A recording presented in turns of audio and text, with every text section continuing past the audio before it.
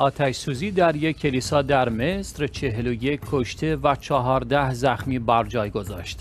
خبرگزاری رسمی مصر گزارش داد که آتش سوزی در کلیسای ابیسیفین در منطقه امبابه در شمال استان جیزه در مرکز این کشور روی داده و به دنبال آن نیز نیروهای آتش نشانی راهی محل وقوع حادثه شدند تا آتش را مهار و خاموش کنند.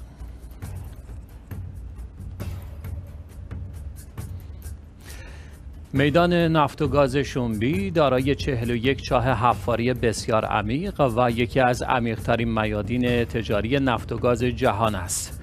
چاهای قابل حفاری در منطقه شنبی 8000 متر عمق دارند. طبق گزارش ها بزرگترین پالشگاه نفت چین سینوپک نفت خامو و گاز طبیعی را از مکان ذخیره نفتی تازه حفاری شده با چاهایی به عمق حدود 8000 متر در حوزه تاریم در منطقه سینکیانگ استخراج کرده است.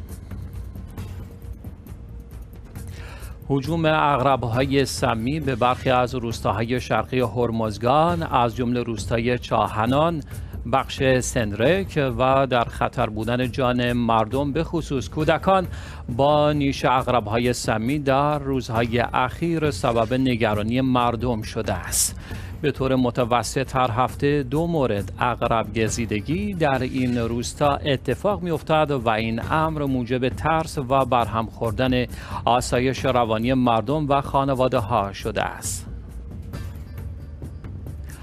رسانه های آمریکایی از کمک 150 میلیون دلاری آمریکا به افغانستان خبر دادند. این کمک در حالی قرار است پرداخت شود که آمریکا بیش از 3 میلیارد دلار از پولهای افغانستان را بلوکه کرده است. بر اثر انفجار یک دستگاه موتورسیکلت بمبگذاری شده در کنار جاده ای در منطقه میرعلی در وزیرستان شمالی پاکستان سه نفر جان خود را از دست داده و پنج تن دیگر زخمی شدند. هنوز شخص یا گروهی مسئولیت این انفجار را بر عهده نگرفته است. دو برادر 74 سال بعد از جدایی هند و پاکستان به هم رسیدند. 74 سال جدایی با دیدار صادق خان و سیکا خان به پایان رسید. این دو برادر دهه ها پیش و در میانه درگیری های قومی وحشتناک در هنگامه استقلال پاکستان از هم جدا شدند و حتی نمی‌دانستند که دیگری زنده است یا نه. با این حال با قدرت شبکه های اجتماعی این دو برادر به هم رسیدند. دست کم 188 نفر در پی بارانهای موسمی در اقلیم بلوچستان پاکستان جان خود را از دست دادند.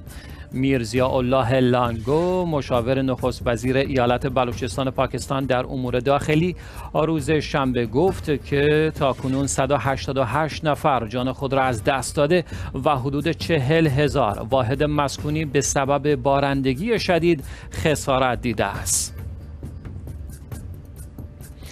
مؤسسه خیریه حضرت رسول اکرم صلی الله علیه و آله از مراکز مرتبط با دفتر آیت الله العظما سید صادق حسینی شیرازی دامزلو در شهر مزار شریف در افغانستان کمک های نقدی بین صدها یتیم توضیح کرد این اقدام نیکوکارانه و بشردوستانه 16 محرم الحرام 1444 قمری صورت گرفت. جاری شدن سیلاب شدید در منطقه وارکلاخ، آبدره و باوری بهرام ولسوالی ناهور ولایت غزنی تلفات و خسارات مالی بر جای گذاشت. به گفته منابع محلی بر اثر سیلاب شدید دو روز اخیر دو کودک هشت و یازده سال جان باختند و صدها خانه مسکونی ویران شده و دهها رأس گوسفند نیز از بین رفته و صدها جریب زمین کشاورزی تخریب شده و چاهای آب حفاری شده نیز از بین رفتند.